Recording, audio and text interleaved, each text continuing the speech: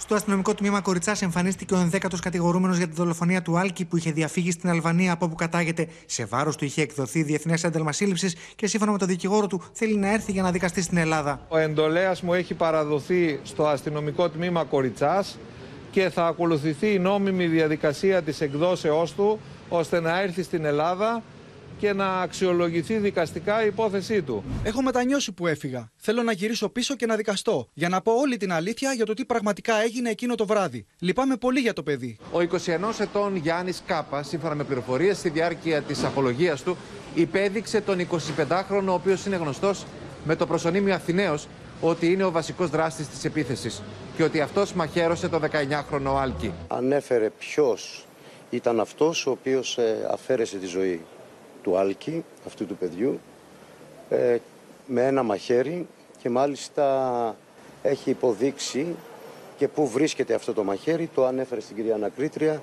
Ο εντολέας σας λέει ότι υποδεικνύει το, τον δολοφόνο ουσιαστικά. Το λέει επειδή ο δολοφόνος ο συγκεκριμένος είχε στα χέρια του αυτό το συγκεκριμένο όπλο ή επειδή τον είδε να το χρησιμοποιεί; Και τα δύο. Και τον είδε να το χρησιμοποιεί και τους το είπε. Τη δέχομαι.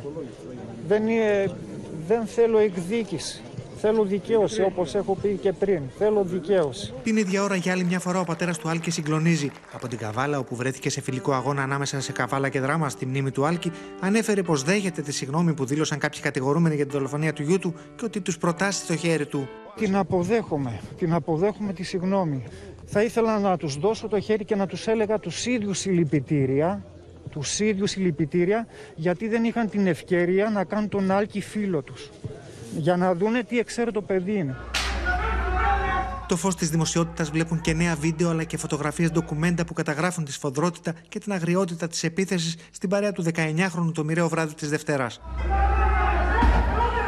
Ένας από τους φίλους του Άλκη που γλίτωσε από την άγρια επίθεση σε κατάθεσή του στις αρχές αποκάλυψε πως ένας από τους δράστες, μόλις είδε την παρέα του 19χρονου, είπε σε συνεργό του να αποχωρήσουν. Ένα από τα άτομα ρώτησε τι ομάδα είστε; Κανένας από εμάς τους πέντε δεν αποκρίθηκε. Δεύτερο άτομο από την ίδια ομάδα, αποκρινόμενο προς τον πρώτο, είπε Δεν τους ξέρω, πάμε να φύγουμε. Ή Δεν είναι αυτοί, πάμε να φύγουμε. Τότε κάποιος από την παρέα των αγνώστων, πιθανώς αυτός που ρώτησε τι ομάδα είστε, είπε Πάμε και αμέσως μας επιτέθηκαν. Το πρωί, με σκημένο κεφάλι, φορώντας μάσκες και κουκούλε στην οδεία ισχυρής αστυνομικής δύναμης, άλλοι τρεις κατηγορούμενοι οδηγήθηκαν στα δικαστήρια για να απολογηθούν. Οι άλλοι δύο που απολογούνται είναι ένας ακόμη Έλληνας που βρισκόταν στο μαύρο κλειό και ένας Αλβανός που επέβαινε στο τρίτο όχημα. Έφτασα στο σημείο τελευταίος, χωρίς να κρατώ κάποιο αντικείμενο στα χέρια μου. Πήγα προς τα σκαλοπάτια της πολυκατοικίας, όπου εκεί βρισκόταν ένα από τα θύματα που τραυματίστηκαν, ο οποίος χτυπούσε με το κράνος του έναν από τους συγκατηγορούμενούς μου. Το μόνο που έκανα ήταν να τον πιάσω με τα χέρια μου και να τον τραβήξω. Από χθες το δρόμο για τη φυλακή πήραν άλλοι δύο επιβάτες του Λευκού Σιτροέν που παραδέχθηκαν ότι ήταν εκεί, αλλά αρνήθηκαν τη συμμετοχή τους στη δολοφονία.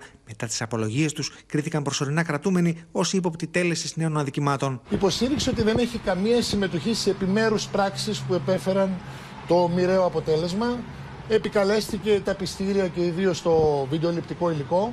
Βγαίνω από το αυτοκίνητο, βλέπω σφοδρότατα χτυπήματα και ροπαλιές με ιδιαίτερη έκταση. Αντιλήφθηκα ότι η κατάσταση θα εκτραπεί και πιθανό να οδηγήσει σε μοιραία αποτελέσματα και μπήκα αμέσως ξανά στο αυτοκίνητο. Έχω μετανιώσει και δεν ξέρω πώς θα ζήσω από εδώ και πέρα, γνωρίζοντας πως είμαι μέρος αυτού που έχει συμβεί. Σε εξέλιξη βρίσκονται οι έρευνες για τον εντοπισμό και του τρίτου οχήματος που πήρε μέρος στην καταδρομική επίθεση, αλλά και για τον οδηγό του που ακόμη παραμένει άγνωστος.